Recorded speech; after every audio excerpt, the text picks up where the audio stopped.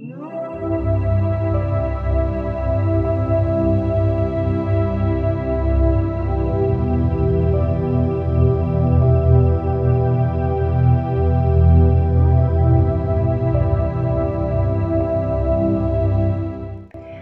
hola corazones. Bienvenidos a un video más de Corazón y Mente. Y estoy muy muy contenta porque tengo el gran honor y por lo tanto todos ustedes de escuchar esta hermosa entrevista con la numeróloga, angelóloga, master reiki y astróloga y bueno, hasta flores de Bach y todo lo que se puedan imaginar con la hermosísima Silvia Valdivia.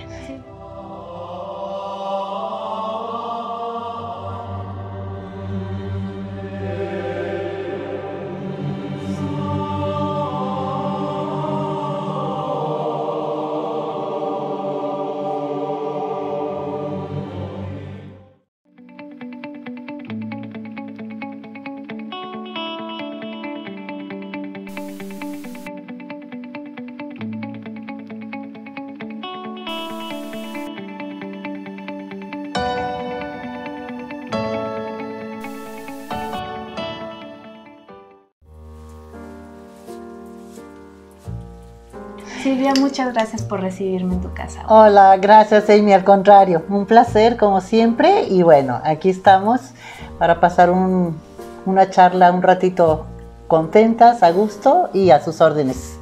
¿Ok? pues muchas gracias. Pues estamos aquí porque yo sé que la, el tema astrología, que a mí me fascina todos los conocimientos que Silvia tiene sobre astrología, yo no sé absolutamente nada y yo sé que muchos de ustedes no y es algo súper importante tener conocimientos sobre astrología o por lo menos acercarnos a alguien que tiene tanta experiencia. Entonces, este es un video, es una charla amena, a gusto, súper informal sobre qué es la astrología. A ver, Silvita, platícanos qué es, porque estamos en pañales y no sabemos absolutamente Nada de nada. Ok, vamos a empezar. Y gracias por la presentación, Amy, te lo agradezco mucho. Y bueno, siempre buscando tratar de aprender, de, explorar este mundo a que venimos eh, y con muchas preguntas que se hace uno, quién soy, qué es lo que, eh, que vengo a hacer, cuál es mi misión. Entonces, algo maravilloso que encontré en la astrología, que es nuestra primera fotografía cuando llegamos aquí a la Tierra es esa parte eh, de, donde estamos situados, sentados, y ahí vamos viendo lo que representa en ese momento que llegamos, hacia dónde estaba viendo nuestra carita, que era el este, y hacia dónde vamos caminando, ver nuestra infancia. Ahí podemos ver hasta cómo fue el embarazo de mamá. Eh, cómo fueron nuestras emociones, cómo las sintió el bebé, el por qué eh, vemos las reacciones emocionales, que de repente hay niños muy tímidos, niños como agresivos, niños miedosos, y desde ahí podemos ir viendo cómo va a reaccionar emocionalmente el niño. Eh, entre el sol, la luna y su ascendente, eso es lo principal para ver cómo va a empezar a ir funcionando. En una carta astral, eh, esa fotografía, te, no nada más eres el signo solar, sino que eres un poquito de cada de cada uno. Tiene 12 casas en las cuales ahí vamos viendo la presencia desde tu niñez, de tu cuerpo físico, tus emociones, cómo te comunicas, eh, cómo eh, ves a los demás, eh, cómo tratas de, qué es el interés tuyo, si es el interés por los demás o vienes a trabajar más en tu personalidad. Ahí vemos, porque hay gente que viene a trabajar más hacia el mundo, a ser como maestros de los demás y hay quienes vienen a hacer buenas familias, a crear un ambiente bonito en las familias. Entonces hay que ver cuál es nuestra misión y, ahí vamos conociendo, ¿ok? Nuestros niños, si sacamos esa carta, o hasta nosotros mismos ya de adultos que no sabemos ni quién soy, ni para dónde voy, ni por qué reacciono de esta forma.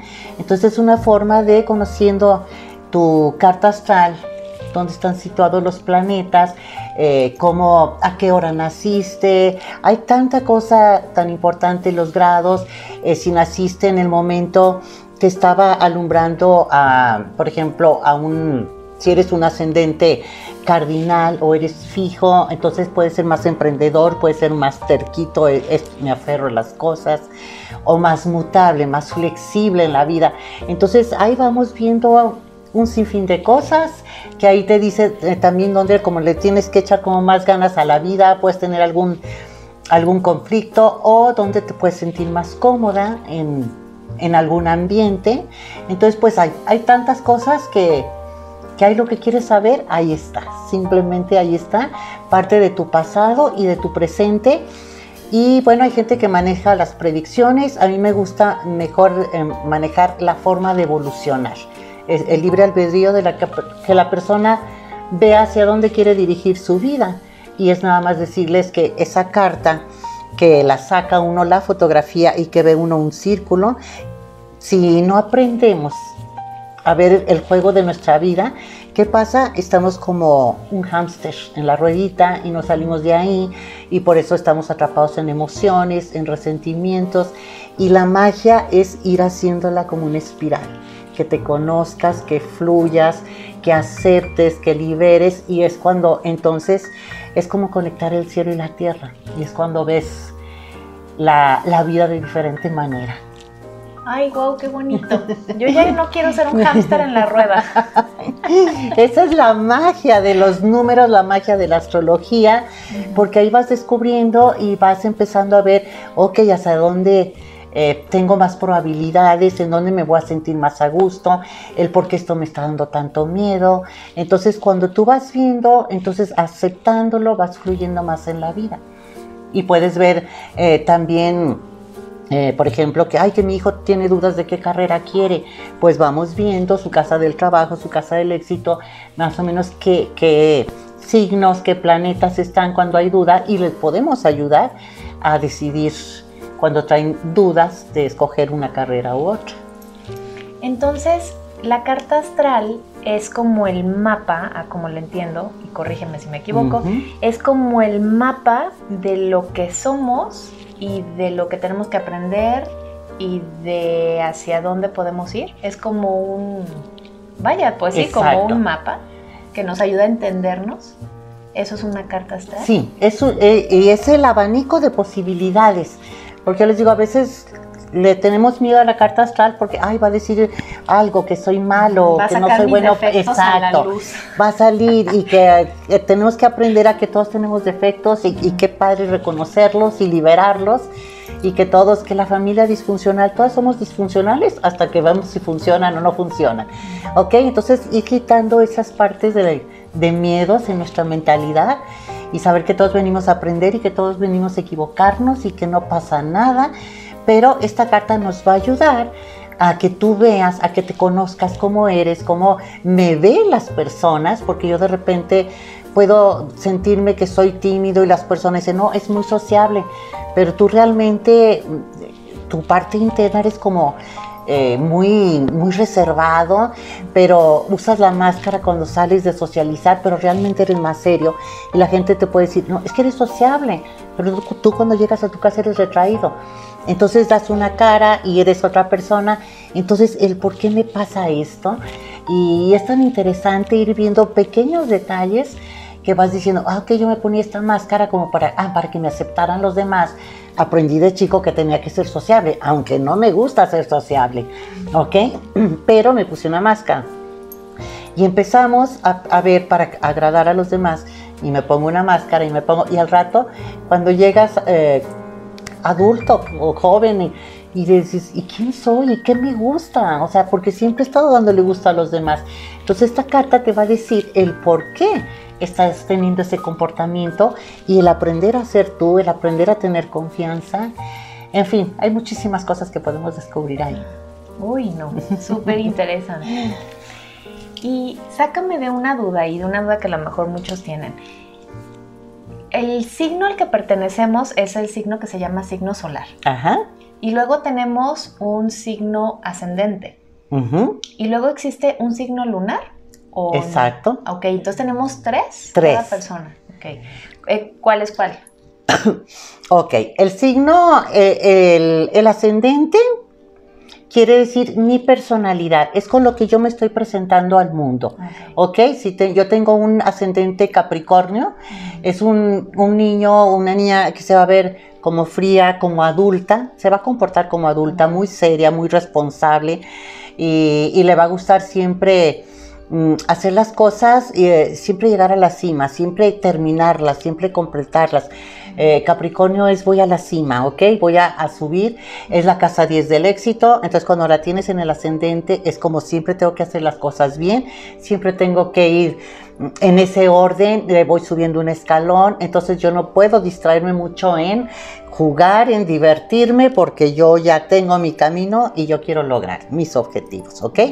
Y por ejemplo, si es un cáncer, es una persona que va a ser muy apapachadora, eh, muy familiar, que le va a estar gustando las historias y los cuentos eh, de los ancestros y van a estar muy apegados a la familia, a los abuelos, a la historia de su país. Entonces, dependiendo, eso es como la forma que te vas a presentar, que aunque tú no te des cuenta, eso es lo que estás representando hacia los demás, ¿ok?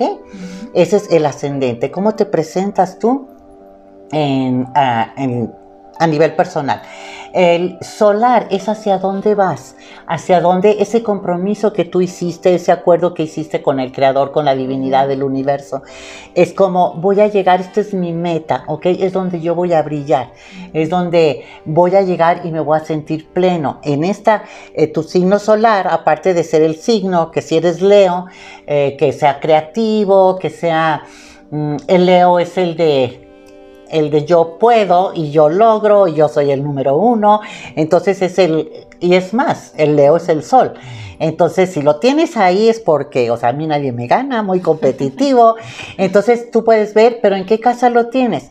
Si es en la casa del éxito, de, eh, de repente puede ser en la casa de la familia, ahí está Leo.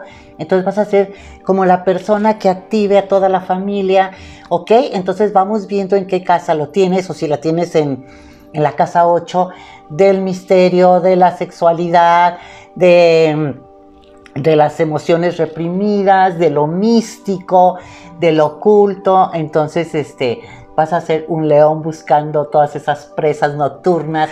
Entonces, e ir viendo tu sol, no nada más qué signo es, sino en qué casa está. ¿Ok? En qué casa está y, qué otros planetas están cerca y le están dando fuerza y le están dando otra energía, otra información al Sol. Normalmente Mercurio está muy cerca del Sol, que es nuestra mente. Entonces ahí podemos ver cómo manejamos nuestra mente, si está en el mismo signo o está en un signo anterior o, o en el que sigue. Siempre Mercurio va cerca, ¿ok? Entonces ahí va contando mucho. Y la luna, la luna es eh, cuando llegamos, nuestras emociones, nuestras reacciones, lo que aprendimos mucho con el ADN y el vientre de mami. Y, ahí nos dice cómo vamos a reaccionar porque así lo aprendimos de nuestra mamá. Entonces ahí de repente vemos y la luna también según el signo eh, en el que está puede ser dramática, puede ser muy emocional, muy reservada, Mm, muy fría, de no demuestro mis emociones. Entonces ahí podemos ver el carácter, la mente, las emociones y mi personalidad. Y ahí ya nos da un parámetro de cómo eh, se va a ir desenvolviendo la persona en la vida. Entonces somos, digamos que un cúmulo de esos tres signos. Por eso, aunque seamos, no sé, por ejemplo, las dos acuarianas, pero tenemos más, o sea, características distintas porque tenemos ascendente distinto y tenemos signo lunar, lunar distinto, no nada más el solar que es acuario y acuario. Exacto, porque sí, a ti te pueden decir, ah, dices, yo soy acuario, dices, acuario, pero es que pareces otro signo, ¿ok? Y, y qué pasa, es que tu apariencia es la que te está presentando esa fotografía, así te vas a presentar, este es tu traje. ¿ok? Tú vas hacia Leo, tu sol está en Leo o Acuario, tú eres Acuario, ¿verdad? Tu sol está Pero no les digas. bueno, ya se enteraron, soy acuariana. tu sol está en acuario, pero tu ascendente está en Leo. Entonces, tu personalidad no, no te van a ver como acuario, te van a ver como una Leo. Ah, caramba. ¿Ok? Esa es tu personalidad. Entonces es la cabellera, es esta parte de... Eh, Leo le llaman el el dramático, el de yo voy y yo consigo, y hago el drama de por la buena, por la mala, el deportista eh, se pone en la que sea, pero yo voy por lo que yo quiero, ¿ok? Pero son personas también muy amorosas, muy niñeras, eh, les gusta mucho ser sociables, eh, nomás hay que trabajar el, el, ego, pero son personas, bueno, todos son maravillosos, eh, viendo todo lo positivo de cada signo. Pero entonces si tú eres acuario y tienes un ascendente Leo y de repente siempre no pareces acuario, ok, es que mi carta de, mi tarjeta de presentación soy Leo, ok, y voy, voy a, voy, mi misión va para, para acuario, entonces voy, voy a, a mi meta es, la, es acuario, es hacer esa yo les digo que es una danza de energías, no somos nada más un signo. Entonces ese Leo te va a llevar a completar tu misión con esa energía de Acuario, más hay con las emociones y, y, con los sentimientos de la luna. Entonces yo les digo que es una danza de energía, ¿verdad? Más sabemos que está Venus, que es nuestra parte también del dinero, de la belleza, de cómo socializamos, de cómo también si somos coquetos o somos serios. Eh, está Marte, que son los planetas personales y están los transpersonales. Y personales es Marte. Y Marte es el aguerrido, también es el, el fuerte, el guerrero, pero también es el agresivo, la violencia. Entonces, viendo si hay cuadraturas, eh, cuadraturas es que puede haber conflictos, hay que ver el carácter de la persona. Y bueno, en fin, te puedo decir mil cosas. Es, es muy la enciclopedia de cada persona, casi, casi.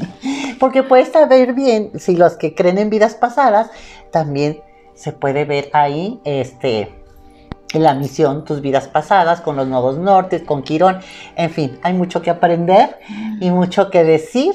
Entonces, pero es un sinfín. Si tú quieres saber de tu presente, de tu pasado o algo de tu futuro, viendo cómo están ahorita por decir, ah, pues los astros este día cómo están, y se toma, se pone esa fotografía encima de la tuya cuando naciste y entonces ves más o menos los planetas cómo te están afectando en este momento. Cuando dices es que traigo un problema, entonces se hace como esa sobrecarta se pone y no puedo salir. Entonces vemos también qué planeta te está ocasionando eso y cómo se pudiera resolver el asunto. Oh, wow. Entonces todos, todos deberíamos de conocer nuestro ascendente y deberíamos de saber nuestra carta astral. Definitivamente. Bueno, pedir una y que Silvia nos la interprete. Con muchísimo gusto. Para entender, entendernos un poquito más a nosotros mismos, porque si nosotros mismos no nos estamos entendiendo, ¿cómo podemos esperar que los demás nos comprendan? ¿no? Yo creo que con una carta astral que te la interpreten, vamos a decir, ah, sí, sí, soy yo así, ay, con razón me pasa esto, ay, con razón yo solita me meto el pie aquí y acá. ¿no? Así es. Entonces es algo bien básico que todos deberíamos de tener. Es muy básico, muy interesante y abrir nuestra mente.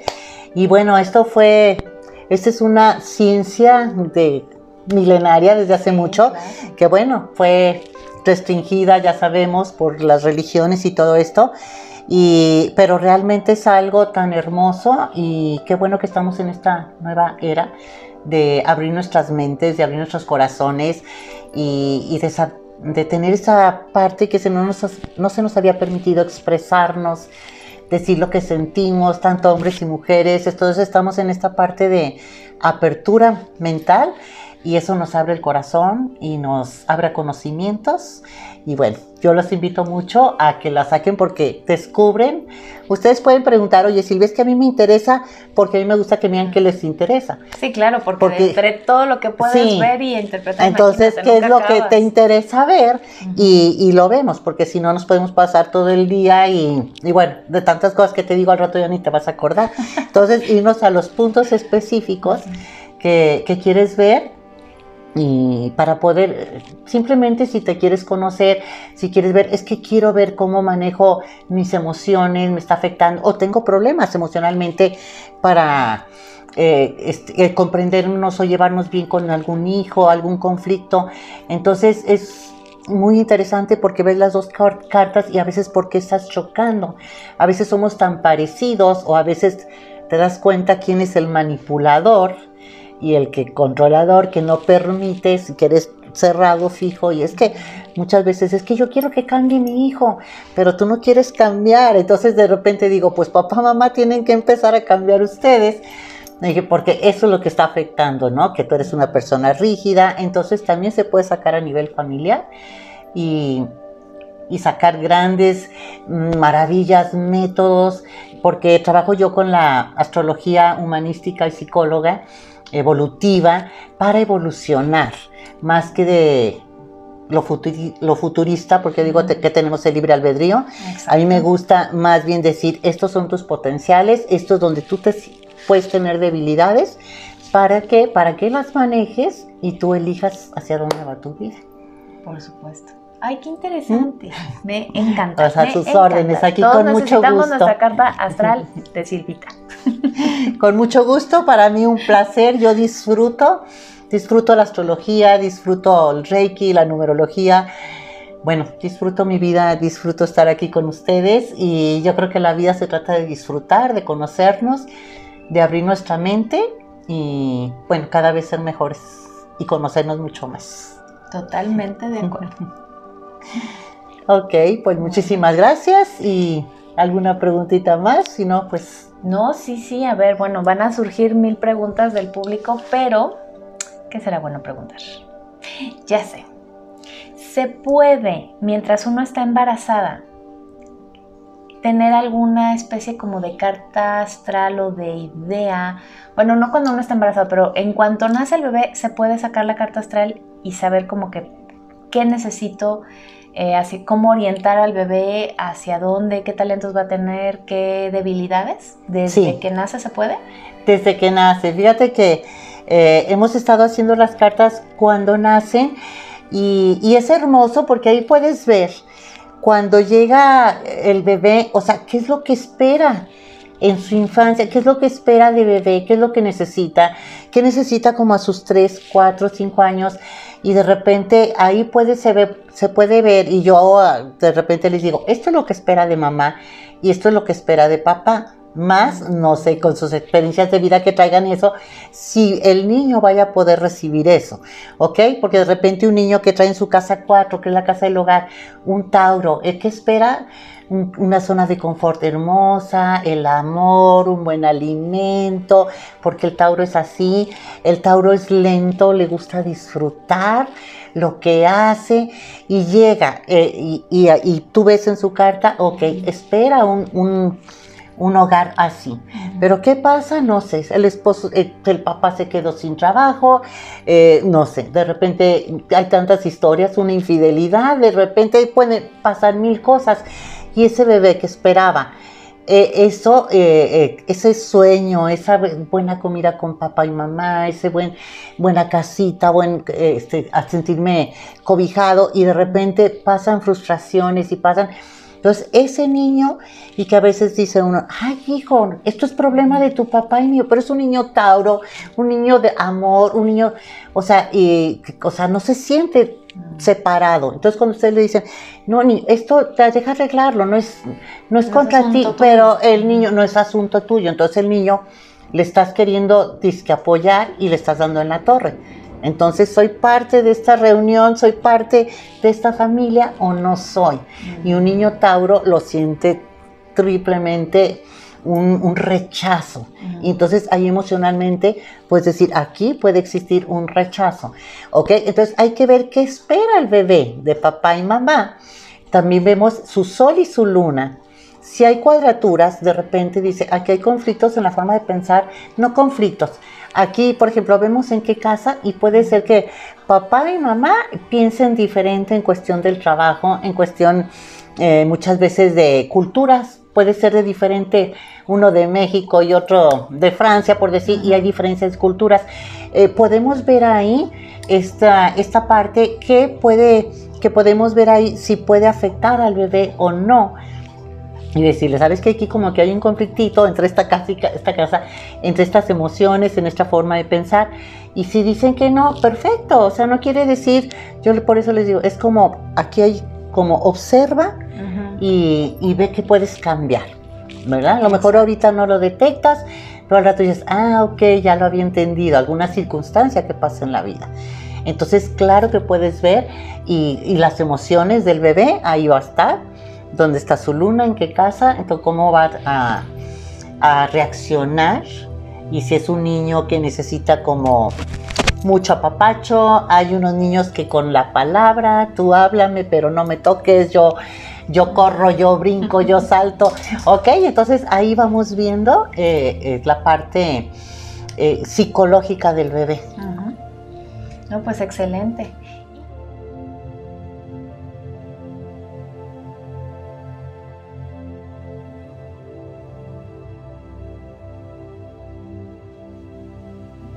¿Y dónde te pueden contactar? Mira, tengo mi página en Facebook. Los jueves doy unas charlas ricas. Ahí platicamos como hora y media a las 11 de la mañana. Eh, la página es Silvia Valdivia Reiki y Numerología. En Facebook. Y ahí con mucho gusto. Ahí estamos subiendo videos o hago mis transmisiones en vivo.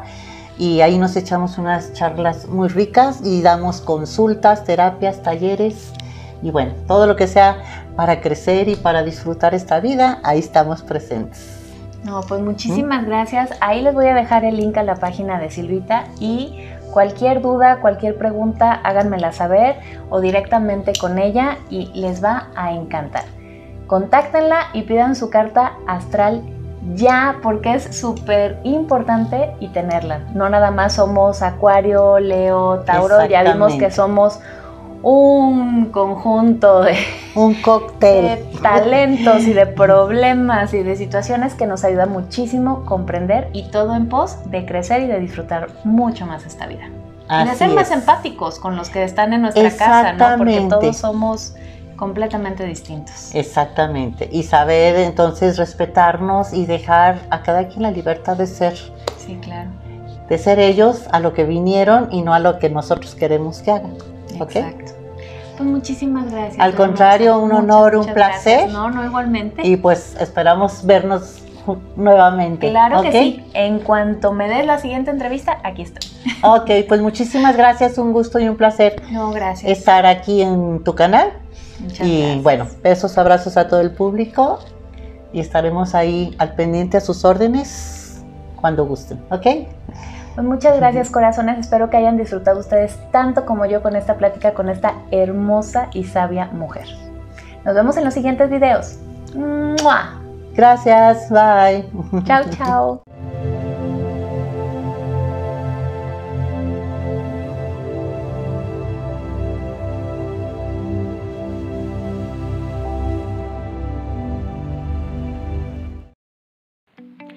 Sígueme en Facebook como Corazón y Mente TV by Amy en donde comparto cosas muy padres y súper interesantes.